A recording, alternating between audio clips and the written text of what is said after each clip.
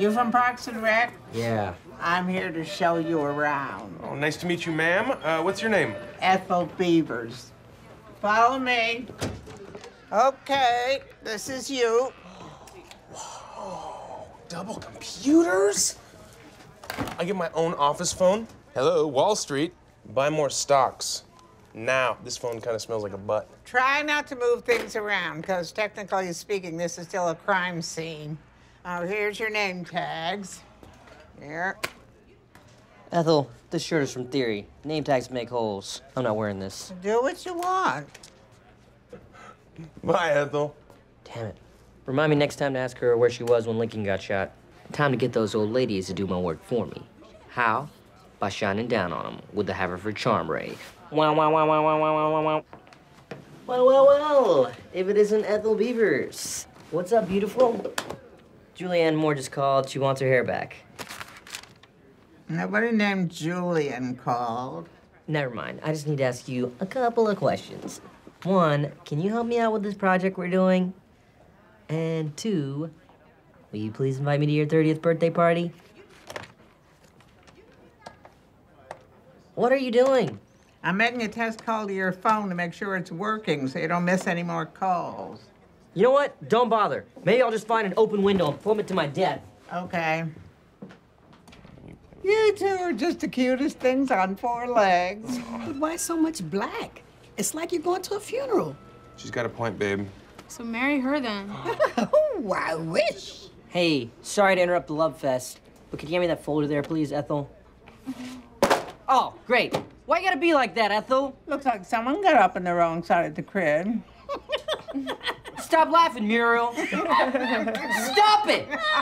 I don't know why Leslie Knope's on trial, and the Beavers did it! Okay. Beavers did it! Sit down. I will hold myself in contempt of the court! So, Ethel, you've been to a million of these ethics hearings. What do you think my chances are? I'd say it's 50 50. You want to put money on it, I'll give you 60 40 against. Is it ethical for a court stenographer to bet on the outcome of a hearing? You tell me. You're the one on trial. Miss Swanson, do you, as you claimed, have evidence linking Leslie Knope and Ben Wyatt to lawbreaking? Absolutely. I have several photographs that will definitively prove May I remind you that you are under oath, and if you lie, I will fire you and have you prosecuted. nothing. They will definitively prove nothing. Well, you cut me off. I don't have any evidence. Oh, Chris, so silly. Okay, bye, guys. Leslie, have fun with this trial. Yay. You know, the meeting that Ben and I had, it's on the record. You should take a look at the last page of the transcript. Mr. Wyatt, Chris, for God's sake, would you mind not jumping for a little while? Mr. Traeger, sorry, Ben, but This is how I fight depression. Okay, fine, I'll stop. Thank you. Okay, so you are prepared to resign, effective immediately, and take full responsibility for all the events that transpired at Little Sebastian's memorial? Mr. Wyatt, that is correct. That is correct. Mr. Traeger, okay, fine. This makes me sadder than I previously thought humanly possible, but I accept your resignation. Can I ask you one more question? Was all of this, all the, the sneaking around, the scandal, losing your job, was, was it worth it? Yes. It was. Because I love Leslie. I want to be with her, and I don't want to hide the way I feel about her anymore. So, yeah, it was worth it because I'm in love with Leslie No, Mr. Traeger, that was beautiful. I'm literally crying and jumping. Crying noise, crying noise, nose blow. Mr. Wyatt, it's gonna be okay. Mr. Traeger, Oh. Let it out, I guess. I, in transcript. Ethel? Ethel, could you please read page 132 of the official testimony? Ethel Beavers. The official record has now annoyingly been reopened so that Leslie Knope can make a statement. Leslie Knope, let the record state that I, Leslie Knope, love Ben Wyatt. I love him with all of my heart. Did you get that?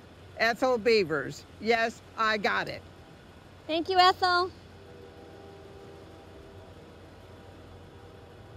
Can I get a ride home? It's freezing. Miss Beavers, this is official police business. I hope we didn't wake you up. It's after 10 o'clock. I've been asleep for four hours. What do you want? We need you to sign this. It's a marriage license. Ethel, is it Robert? No, go back to bed. Oh, is that your husband? I'm not married. I was on a date tonight. It went well. He's sleeping over. Cool. It'd really mean a lot if you sign it. It's for Leslie Knope and Ben Wyatt. I think you know them. They dragged me out in the freezing cold once so they could tell each other I love you. It was annoying. Oh, thank you so much. You have got an amazing house and a really cool nightgown and seem to be super good at dating. Yeah, so can we adopt you as our grandma? Fine. okay, we love you, Grandma. We Can love you, Grandma. Next order of business the Fun in the Sun Act, introduced by Councilwoman Knope. Councilman, I move that the bill be read in its entirety. Ms. Beavers? Fine. If, if you would just slow down a little, then I could arrange balloons or a flower cake or a bouncy castle or something. Ah, Ethel Beavers, we would like a marriage license, please and thank you. What's the date of the wedding? Today. It's a bit unusual, but we Don't felt- care.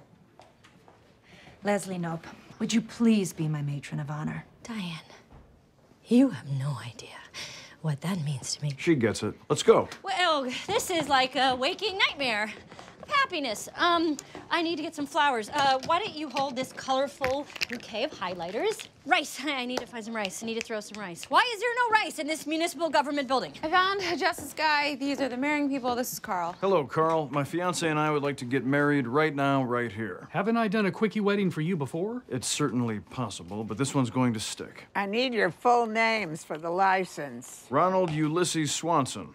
Diane Tammy Lewis? Tammy, your middle name? Just name. kidding, it's Elizabeth.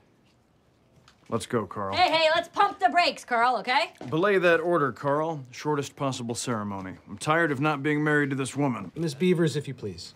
Yesterday, 9:02 a.m., annoying ass Leslie has given me another annoying ass task. Number sign stickers, number sign bitch boss. September 25th, Twitter poll. On a scale of 98 to 100, how annoying is Leslie Knope? Cause you know it ain't less than 98. All my number sign True Blood fans know what's up. Page after page of personal attacks on Leslie Knope. Prospects for new Pawnee best friend. Donna Meagle, confident, worldly, we go way back. April Ludgate, vivid imagination, young and vibrant.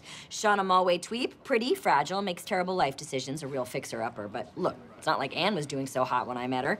Ethel Beavers, bit of a dark horse, crotchety, but probably wise. And then we got Evelyn, AKA Fake Anne. I don't know her last name. Honestly, we just needed bodies.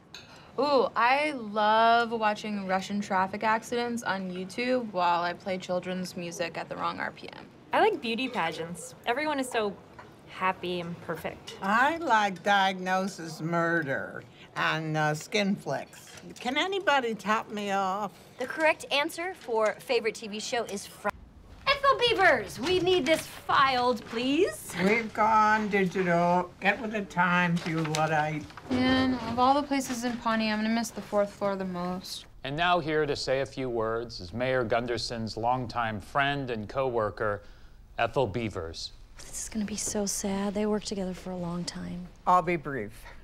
Walter Gunderson and his wife had an open marriage. It kept him happy, kept his wife happy. Hi, Evelyn. And it definitely kept me happy. What is happening? Because for 46 wonderful years, he spent night after night exploring every nook and cranny of my body. Grow up, you prudes. We're all adults. My only regret is that I never told him how I really felt. So I'll say it now. I loved that man, and not just because he was a dynamite leg.